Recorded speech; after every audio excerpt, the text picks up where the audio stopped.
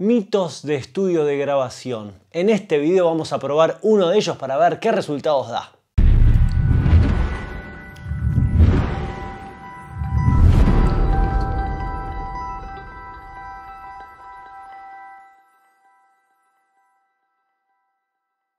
Si estás en el mundo de la grabación profesional, sabes que hay un montón de mitos, algunos no muy ciertos, otros que sí son clave y realidad. Al momento de grabar muchos instrumentos, sabes que hay que elegir ciertos micrófonos, ciertos preamplificadores, ciertos procesadores. Hay reglas básicas que si las cumplís vas a lograr resultados que son más que satisfactorios. En este video vamos a probar uno de estos mitos, a ver qué resultado da, como te venía diciendo, cuál es uno de los mitos clásicos, por ejemplo, al momento de grabar guitarra acústicas. Obviamente un buen guitarrista, una buena guitarra, pero obvio tenés que elegir buenos micrófonos, buenos preamplificadores y algo fundamental es el nivel de compresión que vas a aplicar pero no cualquier compresor podés poner. El clásico compresor o uno de los clásicos compresores que vas a utilizar al momento de comprimir una acústica va a ser un compresor óptico valvular, el típico ejemplo cuál es el LA2A super clásico compresor, muy caro, muy difícil de conseguir. Si conseguís uno, te tenés que, además de pagarlo,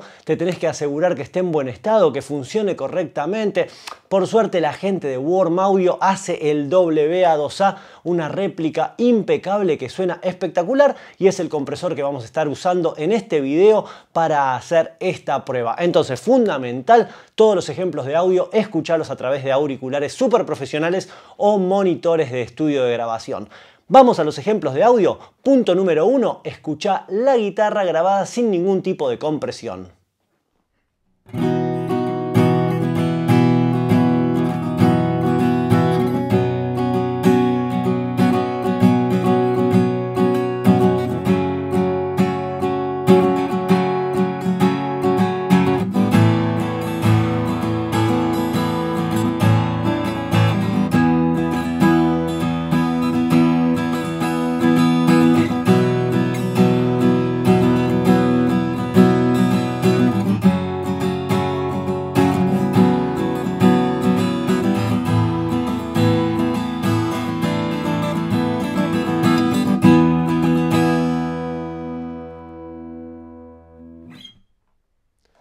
Segundo ejemplo, vamos a comprimir la señal durante la grabación. Esto quiere decir que del micrófono vamos a ir al preamplificador, del preamplificador vamos al compresor WA2A y de ahí vamos a ir al conversor para grabar en Logic. Escucha este ejemplo a ver cómo suena.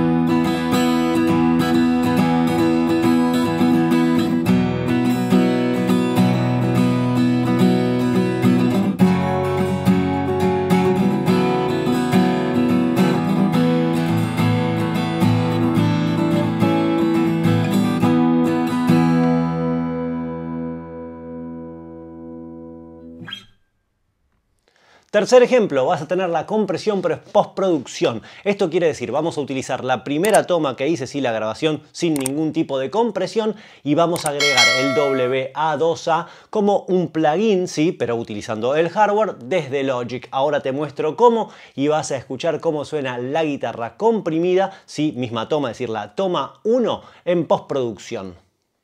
Muy bien, para comprimir en post vamos a hacer algo yo ya te mostré varias veces en otro video, que es agregar el WA2A como un plugin. Para eso en Logic voy a agregar el módulo Input-Output, sí, lo agrego en mono. Esto no te estoy compartiendo pantalla porque ya te lo mostré varias veces cómo se hace. Voy a setear que la salida vaya al WA2A y que el retorno o la entrada también vaya al WA2A, así todo lo que reproduzca ahora eh, pase por la compresión, le doy a la función ping para evitar eh, algún tipo de retraso y que vaya todo procesándose en tiempo real. Y ahora simplemente lo que vamos a hacer es reproducir la parte que no estaba comprimida y vas a escuchar cómo suena ahora con el procesamiento en tiempo real. ¿sí? Vamos desde el principio y acaba.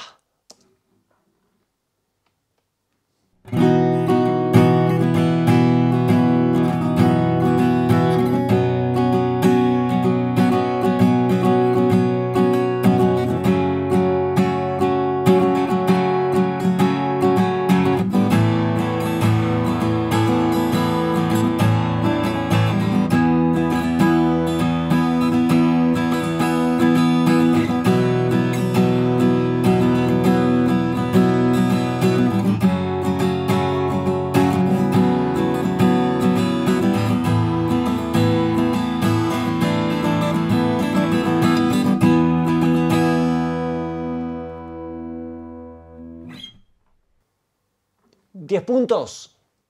Ahora que ya pudiste escuchar todas estas tomas, es decir, guitarra sin compresión, guitarra comprimida durante la grabación y guitarra comprimida en postproducción, puedes sacar tus propias conclusiones, nos decís si este mito es verdad o no y cuál fue la versión que más te gustó. Así que déjanos un comentario al pie del video y nos decís qué te pareció, cuál fue tu versión favorita.